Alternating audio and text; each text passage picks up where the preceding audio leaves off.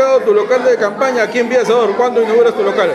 Bueno, en una semana estamos inaugurando, pronto vamos a informar, vamos a convocar una reunión amplia para iniciar nuestra campaña y hacer la presentación de las propuestas que vamos a hacer una vez que estemos en el Congreso. ¿Qué propuestas concretas llevas para el Congreso de la República? Bueno, básicamente está vinculado al tema de la juventud, en general, no solamente a, los jóvenes, digamos, que tienen que ver con el tema laboral, sino también con la educación, con la seguridad, con la protección.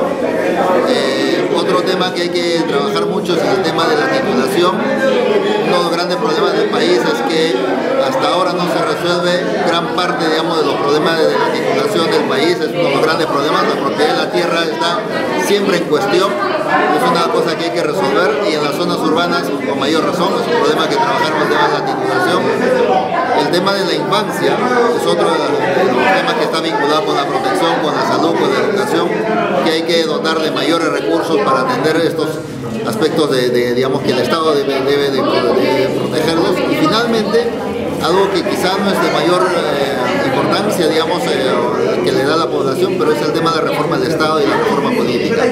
Ahí tengo varias propuestas de proyectos de ley que tienen que ver con la reforma del Estado para que realmente sea una sociedad y un Estado totalmente descentralizado, donde la descentralización parte de los municipios, no desde las regiones solamente, sino desde los municipios, y por otro lado, en, donde, la reforma política, la ley de partidos políticos, la ley de participación política, tiene que ver mucho con el fortalecimiento de los partidos, pero también de privilegiar la carrera política, es decir, que si uno quiere ser alcalde, antes tiene que haber sido regidor, si uno quiere ser alcalde de Lima, antes tiene que ser regidor metropolitano o alcalde distrital, si, quiere ser uno parlamentario, mínimamente ha tenido que ser concejalo o alcalde metropolitano o provincial.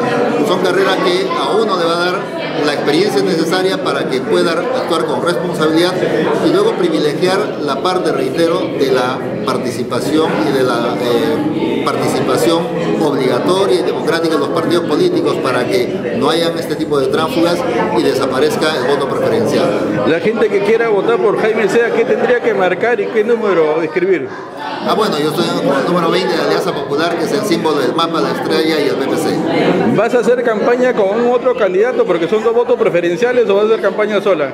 Bueno, en algunos distritos voy a hacer campaña con varios candidatos que ya estamos trabajando. En el caso, por ejemplo, de, Chaclacayo, ya tenemos avanzado para hacer la campaña con Mauricio Mulder. En el caso de Villa El Sabor, probablemente se sumen dos o tres candidatos, tanto del Partido Prisa como del PPC y, de Vamos Perú también. A Jaime Sea no le sobra la plata como cancha como algunos candidatos. ¿Vas a, priorizar algunos distritos de Lima o, vas a intentar hacer campaña en todos los distritos?